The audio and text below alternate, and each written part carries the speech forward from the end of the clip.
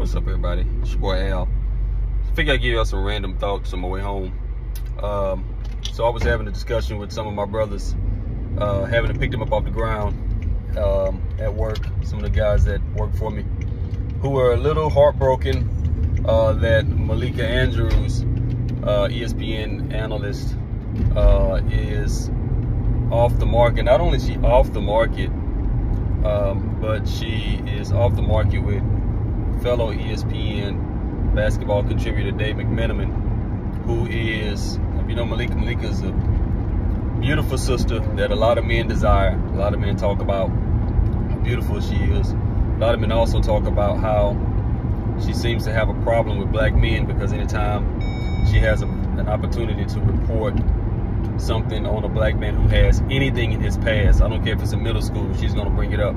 So a lot of brothers wanted to know, man, what's up with that? Why she always seem to have these problems um, with black men, and she always trying to throw black men under the bus. Well, a lot of people got their answer, or what they perceive to be the answer, um, because she married Dave McMenamin. Dave McMenamin is white guy, short. Um, a lot of brothers are losing their mind. I mean, I, first of all, somebody should have told her when she was posting wedding photos uh, that she probably should have killed the comment section for wedding photos. I see a lot of people doing that. I see a lot of people doing that who have interracial wedding photos. Um, the photo post to get the comment sections cut off. Uh, a lot of brothers who marry white women, um, their photos, their their uh, comment section is, is is is nowhere to be found. Now you can you can comment on a lot of other things, but not their wedding photos. Um, somebody should have gave Malika that advice. Man, she is being pummeled by a lot of brothers who feel like now it makes sense why she goes in so hard on brothers and why she goes in when somebody gets drafted. She brings up a fight they had that they got arrested for in high school. Fella dies. She brings up charges that were brought up against him in college even though they were dropped. She just can't seem to let go when brothers jack mess, mess stuff up. Now malika is a sister who is biracial. She has a white mother um, she is a black father, obviously. Um, and there have been reports that her mother wrote a book uh, chronicling uh, bringing up Malika. And one of the things that was brought out was that Malika desired as a young girl to have her mother's skin color. And when her mother told her that she would not have her skin color that Malika was, as a little girl, uh, upset and then that her mother, in response to her being upset, did not do anything to empower her as she is. Which, in a lot of people's estimation, as they're wrapping their minds around, is kind of led Malika to yearn for as much whiteness as she possibly can. Now, a lot of people seen the photos of her wedding. Um, they mentioned how that there isn't a lot of color there. Like it just seems like all of her bridesmaids are white. Um, all of Dave's party is white. Looks like there's some Hispanic, maybe uh, Middle Eastern, uh, Indian brothers that are in those photos. From all I can tell, I did see a picture with Richard Jefferson, a co-worker from ESPN, uh, at the wedding, taking pictures with them. So Jeff was there. Um, don't know if any of other, don't know if Perk was there, or anybody else, uh, but I do know Richard Jefferson was there. Um, but a lot of brothers are upset, and a lot of brothers say that this marrying a white man, uh, short what many people consider pedestrian. I'm not going to say Dave, uh, paper not long, so I don't know how he is, you know, financially. But a lot of people say this makes sense. Her marrying this pedestrian, looking, in their estimation, white guy, um, explains why she goes in so hard on black men A lot of brothers are upset. Uh, they're upset because um, she's with a white man, and, and it and it it this this proves. I, I can't remember if I was telling my wife this or somebody this. This proves something that I've always said. And that is, black men don't have a problem with black men, women dating white men, as long as white men don't marry the very desirable white black women. Um, we don't have a problem with the black woman being with the white man. Um, no, it it doesn't. It's not that big of a fuss if it's not a black woman that black men just absolutely fawn over. Uh, a lot of black men, even though some were upset, a lot of black men didn't make a ridiculously big deal when Serena Williams married a white man. A lot of them did. Uh, but this one is hitting big with a lot of brothers because a lot of brothers thought Malika, and she is a very beautiful young lady. No, no, no lie, she's a beautiful young lady. But for a lot of black men, hearing her always try to what they perceive to be tear down black men, and then her marrying a white man, having pretty much an all white wedding party, um, just infuriated them to the point where they're calling the things like bed wench and you know sell out and auntie ruckus and all of that kind of stuff. Um, and I, I, do see that you know that there is something there. I don't I don't know what it is. That she always has this whole thing where she wants to go in on a black man's history. Even on a night that a man gets drafted, she'll you know.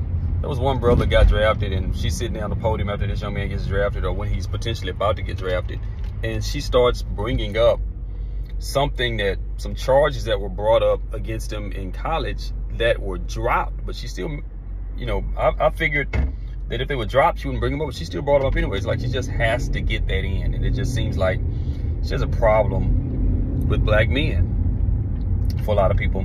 Marrying this white man confirms that for them. Um, but I want to look at this from another angle.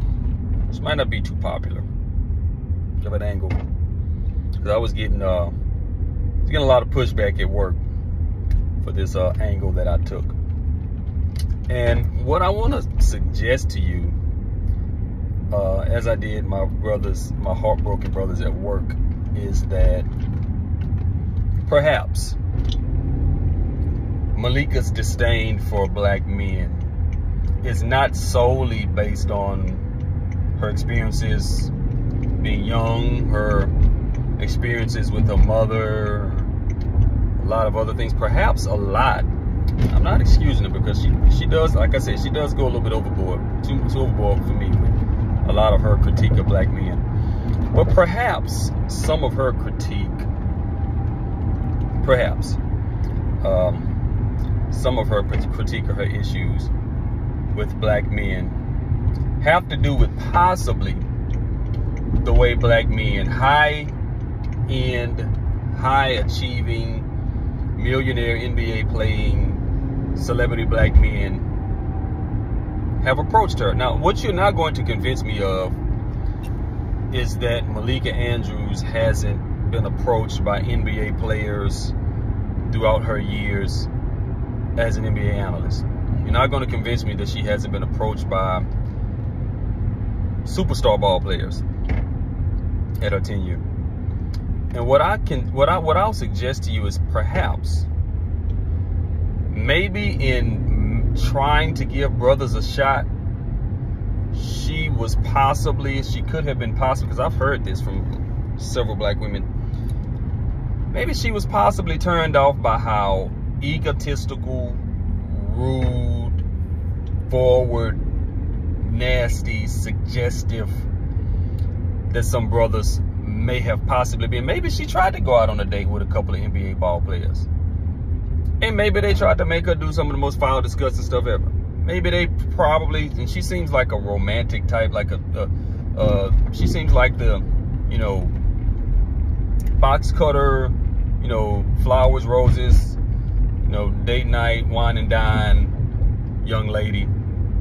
And I know sometimes these ball players, man, in all sports, not just basketball, in all sports, but especially basketball, can they can try to get these girls because of their money and think they can just get them to do whatever, whatever they want them to do. And I, I'm, I'm just saying, a woman like Malika Andrews has probably coming from a two-parent home, been looking for a husband. And I gotta be honest with you. I don't see a lot of black ball players marrying women as beautiful of, of a sister she is, I don't see a lot of black ball players marrying women that look like Malik Andrews. I see them getting them pregnant and having multiple children with them. I see them, you know, doing stuff with them and then coming back 10 years later to talk about it on a podcast, what they got them to do in the backseat of a car. Who knows what ball players are trying to get her to do in the backseat of a car. Or in a situation where she thought she was dealing with a classy guy and he did whatever that's not so classy because he thinks his millions of dollars can afford to do. I know some of these dudes, man, can just get downright disgusting, suggestive, and I'm just saying what I see is I don't see a lot of black men, high earning ball player black men marrying women that look like Malika Andrews. I just don't as beautiful as she is, I still don't see him marrying. I see him having a lot of kids with him. I see them, you know, making them baby mamas. But I don't see him marrying them. And if she's a woman that wants the marriage and not, you know, sex in the backseat of a car, on your Ferrari, on a balcony, but she wants more than that. She wants to be old school, courted, married. Then I don't see a lot of black ball players trying to do that with black women. I see them doing it with a lot of white women. A lot of photos on the internet of black and white weddings, black ball players, white women. But I don't see a lot of black men looking to marry women like Malik. I see a lot of black men looking to get girls like that pregnant, date them for a little while, and then go on to the next. Put them on their team of baby mamas, Cam Newton, Nick Cannon, Ne-Yo, whoever. You look at a lot of these ball players, man, they they're showing you who they are. You got ball players knocking up porn stars, ball players knocking up notorious thoughts, notorious girls that have been with multiple women, having multiple babies from multiple men, and they getting them pregnant. Mean, they're not they're not out here trying to be husbands to women like that. And I would suggest that maybe she saw that. Because you see people like Malika, you see people like Eve, you see people like Serena. Yeah, they may have been the object of black men's affection and desire. Wasn't nobody trying to be a faithful husband to these women. And I'll say this, but I don't know if anybody's noticing it, but what I'm seeing from our from the sisters with power, power sisters, sisters with celebrity, fortune, and or fame, is they starting to get out there, man. They're starting to dip their toes out in these white waters. Because they see a lot of Cam Newtons and Nick Cannons out here. They see a whole lot of baby making brothers, but they don't see a whole lot of rings being put on black women fingers. A lot of these girls have passed with brothers. They tried to date this brother and that brother. And then you have a brother like um, um, Russell Wilson who married Ciara, romances, rom romances her, treats her like a queen, puts on a pedestal, and brothers laugh at him and say that's corny. That's what women want. And a lot of these these these power sisters, they starting to they starting to dip out there in these white waters, man. Look at the girls from the Olympics. Tara Davis Woodhall, Gabby Thomas. We're white men. I mean, you these little girls, these little girls get to the Olympics when they teenage years, they young and awkward, they probably got looked over by black men. Gabby Thomas, little skinny self, Tar Davis Woodhall, little skinny self, when they was probably 15, 16, 17 years old, probably got laughed at or dogged out by black boys. I mean, nobody's thought about how bad black men had to treat Tara Davis Woodhall, that she would marry a white dude, not just a white dude, but a white dude with no legs. How bad were brothers to her that she had to go there? some of these brothers, man, I, am telling you, man, some of y'all need to get y'all act together because black men, a lot of these black men in power are not trying to be husbands to black women. So the sisters sit down with Cam Newton and pick him apart, and you got brothers defending Cam, defending all the women he done made, baby mamas, defending Nick Cannon. Because a lot of brothers, that's what they want. They want to just have as many pretty light skin, wavy hair, light skin, so yeah, they babies as possible and skate all around the planet. But a lot of black women, man, they don't want that. They they want to be wives. And a whole lot of our brothers ain't trying to be husbands to these girls. They're trying to be problems and create problems and just give babies and just have be able to say, yeah, that's my baby mama. And that's not good enough for a lot of these girls anymore. And I don't blame them. I don't blame them. You got these girls out here, man. They going, they going with these white dudes, cause these white dudes trying to be husbands. I mean, Tara Davis Woodhall, her husband was there, you know, at the Olympics for her, he crying on her shoulder, so happy that she won a gold medal. And I saw brothers, oh, this lame. What you doing, crying? Crying? What You soft? You crying? Man, that man happy for his wife, man. He was crying tears of joy that she won. And that's the problem, man. Brothers think, brothers, too many brothers think that they too cool for certain stuff that women want from them. Brothers think they too cool now to settle down. They too cool to think that they should show some kind of sensitivity to their woman when they have success. And I'm telling y'all something, man. All you cool brothers out here, all you cool brothers walking around here still thinking cool is y'all y'all y'all the cool dudes who can get all the women because in high school cool dudes think they can get all the women. Tell you something man cool is fading away. Ain't women ain't checking for that no more. Women ain't checking for you with all the swag and cool with your jacket turned up in the hallway. You got all the swag you got all the coolness. Women who want husbands ain't checking for that because they know they ain't paying off. I mean, they, they, that's that's guys, that's a problem that guys have with Russell Wilson. They think he's not cool, and the cool guy should never be able to get a woman as gorgeous as Ciara. But that cool stuff, man, all that trying to be Mr. Cool, trying to be the guy with all the swag, to do all the stuff that appeals to your homeboys instead of the stuff that appeals to your wife, and that that's not working. That's not gonna work. And again, like I say, man, like I know a lot of brothers upset about Malika, um, but um, I gotta tell you, I, I, I don't see all the brothers say she couldn't find a brother to marry. She, I mean, brothers that would be in her wheelhouse. How many of them trying to marry black women like that, man? How, how many, how many, I mean, how many really 28, 27, 26 year old black ball players do we see with beautiful black women look like Malika? married, not with them, not baby mama, not none of that. Married, ring on their finger, married, household, no other baby mamas, other other places. Just that's your wife.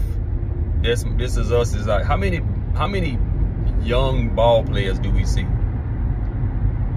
with wives like that? So for me, and I'm thinking, and, I, and like I said, this is just me exploring maybe another angle to this whole thing because it uh, like like I said it is growing. It's a growing thing that we're seeing with a lot of sisters in power statuses or dating and marrying marrying more so white men. Because these white men are they're not trying to make baby mamas. They're not trying to put a girl on a team and have three baby mamas put a girl up in his house and have two of her, two of his kids, and put another over here, man. My white, these white dudes not trying to do that, man. These white dudes trying to say I do. Everybody knows in the heart of hearts that's what a woman wants. So it's just a thought on my way home. Just a thought. And maybe some of these dudes need to consider that uh, Malika, a lot of these other sisters have tried, brothers. Brothers ain't talking about it. Not in the way that they want them to be talking about it. Tell me what your thoughts are in the comment section. Been a while since you heard from. I know some of y'all like, who is this dude? So you see my fro and my flat top. My wife made me cut it off, grow it back because I'm a Prince man and my hair does grow fast. So talk to y'all soon. I'll be doing this in the future, probably every day. Just giving you my thoughts on the way home.